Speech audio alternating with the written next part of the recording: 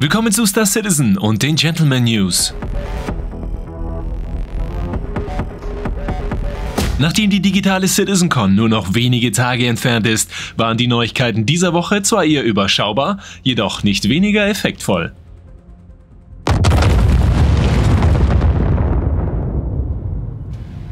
Denn in dieser Woche dreht sich alles nur um Bomben. Große Bomben. Und nachdem ein großes Boom deutlich mehr sagt als 1000 Worte, in 30 Sekunden vorab alles, worauf es ankommt und unsere Detailanalyse wie gewohnt im Anschluss.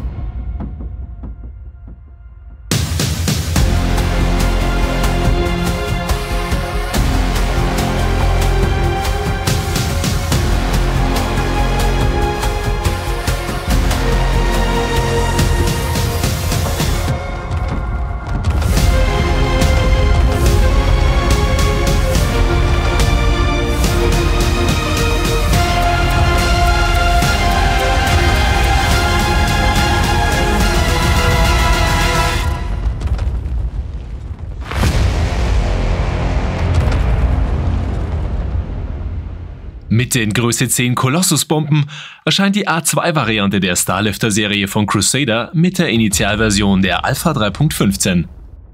Im übergangsweisen Bomben-Operator-Modus, analog dem Missile-Operator, erhalten wir ein eigenes HUD-Element, womit wir unseren Bombenabwurf, welcher zunächst nur innerhalb einer Atmosphäre möglich sein wird, auch entsprechend planen können.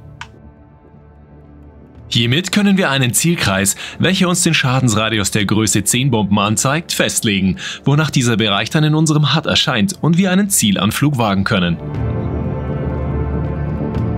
Hierdurch haben wir dann auch ohne eine direkte Sichtlinie auf unser Ziel die Möglichkeit zu manövrieren und entsprechend unsere Ladung abzusetzen.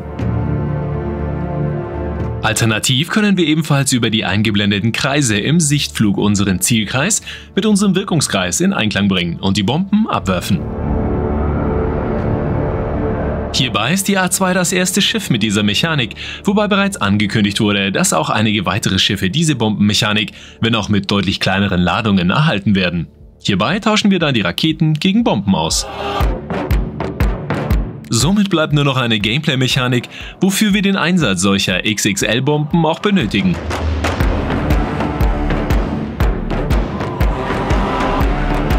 Jedoch wurden bereits die neuen Raketenabwehrtürme gezeigt, welche die bisherigen Kanonen ergänzen.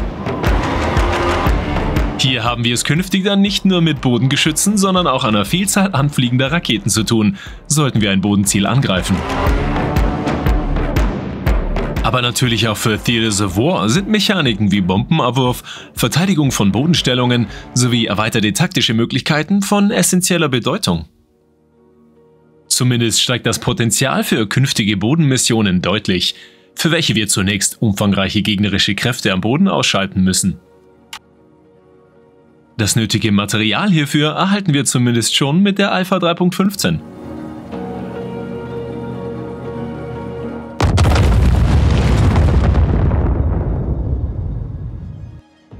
Im Gegensatz zur Starlifter A2 erscheinen die Ares Starfighter-Varianten Ion und Inferno sowie die Redeemer erst zur Intergalactic Aerospace Expo im November und somit nicht direkt mit dem Release der Version 3.15, sondern mit einem X-Patch. Für die überarbeitete Version des Arena Commanders gab es weiteres Bildmaterial, wonach die Karten deutlich vielschichtiger werden, mehr taktische Möglichkeiten bieten und vor allem die Optik einen deutlichen Sprung macht. Neue Spielmodi oder erweiterte freischaltbare Ingame-Events wurden hierzu bislang noch nicht angekündigt. Es bleibt daher abzuwarten, ob sich im Arena Commander weitere neue Spielelemente finden werden, nachdem die Überarbeitung hier bereits sehr umfangreich ausfällt.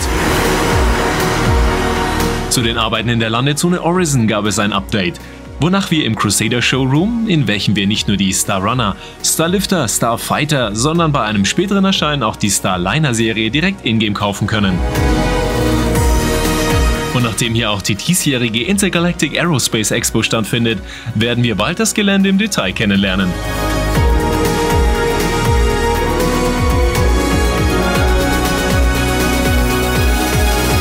Und auch zu Cousin Crows gab es einige neue Bilder, welche uns einen erweiterten Einblick in diese Manufaktur gewähren.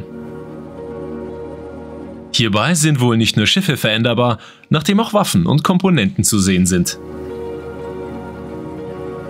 Bei weiteren angesprochenen Bereichen im aktuellen Inside Star Citizen handelte es sich zumeist um Wiederholungen aus vorhergehenden News, wie dem Medical Gameplay und den kommenden Einschränkungen und medizinischen Einrichtungen.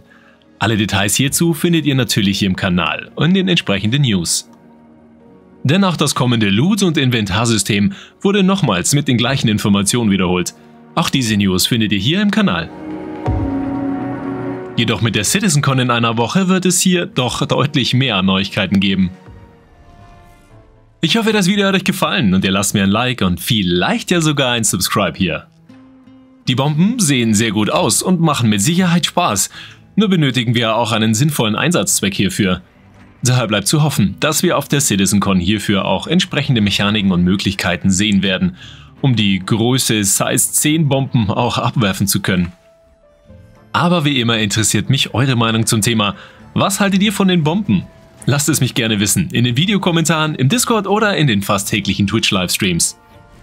Aber wie immer, das Allerwichtigste zum Schluss. Ein herzliches Dankeschön an alle Unterstützer. Ob Patreons, Kanalmitglieder oder Twitch-Subscriber. Ohne euch wäre das gar nicht möglich und ihr seid eine enorme Motivation, für welche wir vielen Dank sagen möchten. Ihr rockt! Und natürlich gibt es auch diesen Monat wieder umfangreichste und erstklassige Giveaways von den besten Partnern und uns. Wie ihr daran teilnehmt und was euch erwartet, erfahrt ihr im Discord oder im entsprechenden Ankündigungstrailer. Viel Glück! Ich verabschiede mich bis zum nächsten Mal. Bis bald und sage wie immer, see you in the verse.